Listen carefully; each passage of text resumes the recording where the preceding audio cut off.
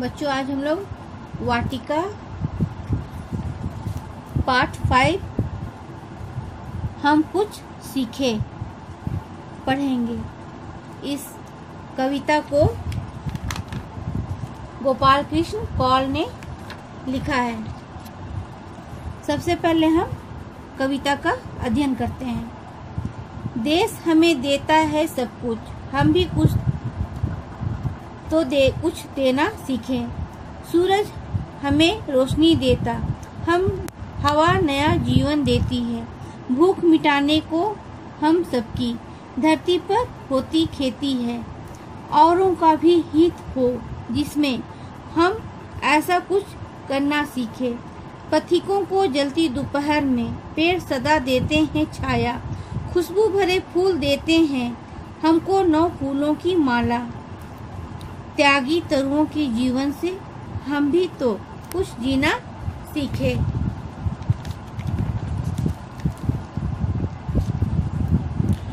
जो अनपढ़ है उसे पढ़ाए, जो चूप है उसकी वाणी दे, जो पिछड़ा है उसे बढ़ाए, प्यासी मिट्टी को पानी दे। हम मेहनत के दीप जलाकर नया उजाला करना सीखें।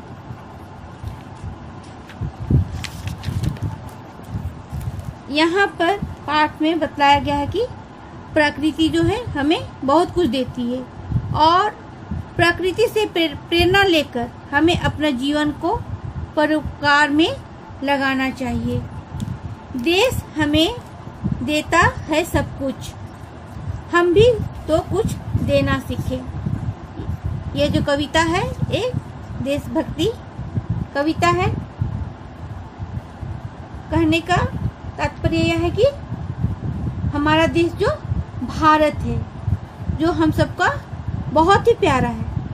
और इस देश ने हमें रहने के लिए घर, खाने के लिए अनाज, यानी कि जीवन यापन करने के लिए बहुत कुछ दिया है। और सूरज हमें रोशनी देता है, हवा नया जीवन देती है, भूख मिटाने को हम सबकी धरती पर होती, खेती है। यहाँ कहने का तात्पर्य है कि सूरज जो हमें नया रोशनी मतलब प्रकाश देती है। और मातृभूमि जो है, हमारी भारत माता हमें सब कुछ देती है। और हमें मातृभूमि की सेवा करनी चाहिए। यानी कि दूसरों की सेवा करना है। सूरज जो है, पूरब दिशा से, पूरब दिशा में उगता है। और हवा नया जीवन देती है। हवा जो है हमें नवा, नया जीवन देती है मतलब हवा के द्वारा हम सांस लेते हैं। सांस के द्वारा वायु जो है हमारे शरीर के अंदर प्रवेश करता है और हम जीवित होते हैं। यदि हवा नहीं रहेगा, यदि हम तो सांस नहीं ले पाएँगे और ना ही हम जीवित रह पाएँगे। इसलिए कहा गया है कि हवा हमें नया जीवन देता है। भूख मिटाने को हम सबकी धरती पर होती है खेती। हमें जब भूख लगती है तो हम अन्न ग्रहण करते हैं। तो अन्न कहाँ से आता है?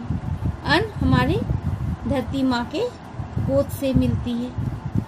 और धरती माँ जो है, धरती माँ के ये में गोद में जो है खेती की जाती है। वहाँ पर देखिए, यहाँ पर किसान किसान तो नहीं अनाज की सुरक्षा के लिए यहाँ पर एक पुतला बना करके रखा गया है, जो विभिन्न प्रकार के अनाज उपजाए जाते हैं। गेहूँ है, धान है, जौ है, इत्यादि।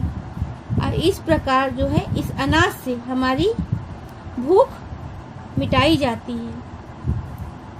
और धरती माँ जो, धरती माँ के गोद में ये अनाज जो है उपजाई जाती है। आगे देखिए। हवा का भी हित हो जिसमें सॉरी औरों का भी हित हो जिसमें हम ऐसा करना चाहिए। औरों का भी हित हो। कहने का तात्पर्य है कि हमें औरों का भी भलाई करना चाहिए।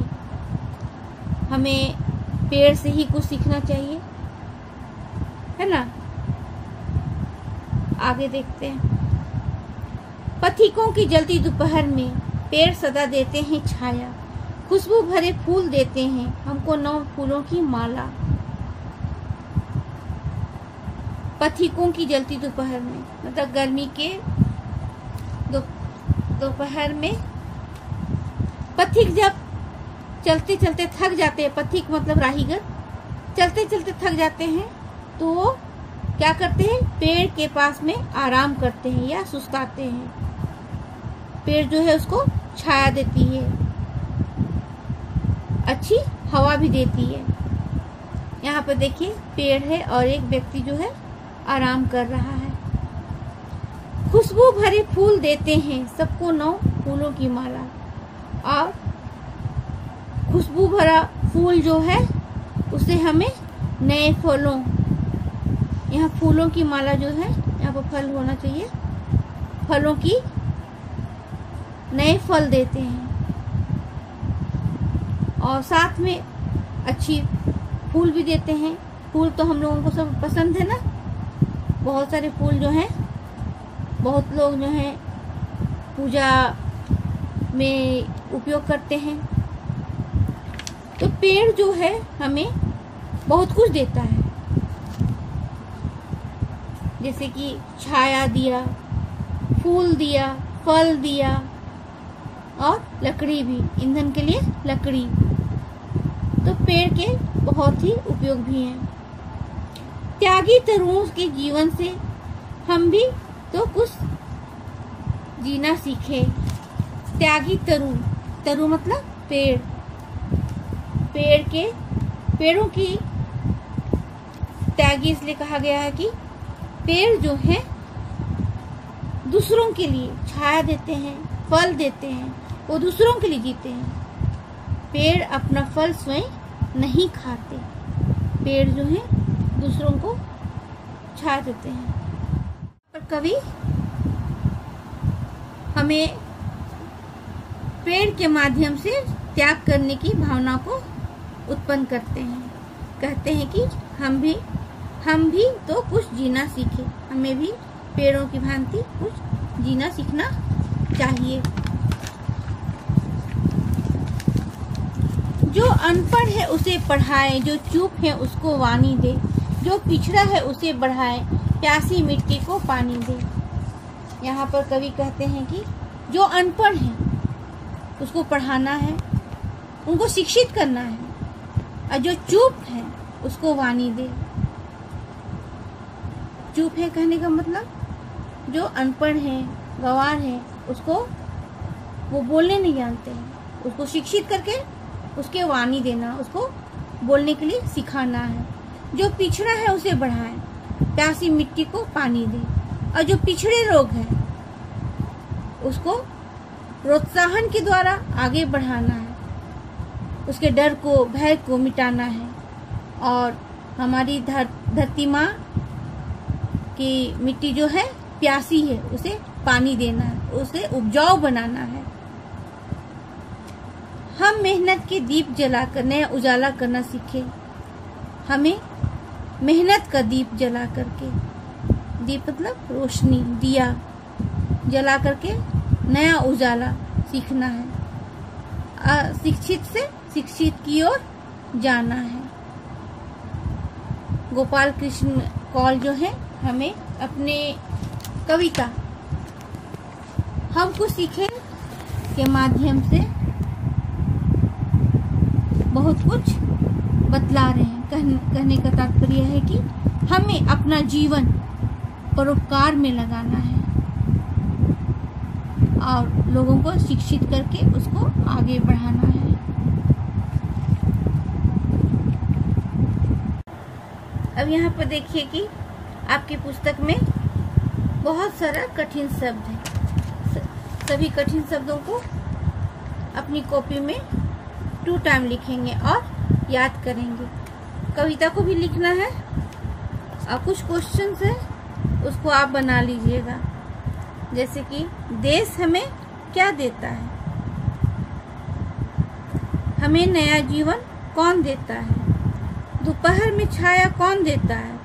तरुओं की त्यागी क्यों कहा गया है? देश की सेवा करने के लिए कवि ने क्या सुझाव दिए हैं? यहाँ पर पंक्तियाँ पूरी कीजिए। और उत्तर लिखिए। हम किस प्रकार सूरज, हवा, धरती, पेड़ आदि का लाभ उठाते हैं? हम, पेड़ हमारी रक्षा कैसे करते हैं? देश को आगे बढ़ाने के लिए हमें क्या करना चाहिए? औरों का हित हो, पंक्ति में क्या आशय है? हम नया उजाला किस प्रकार कर सकते हैं? आप लोग पहले इस प्रश्नों का उत्तर को ढूंढिएगा।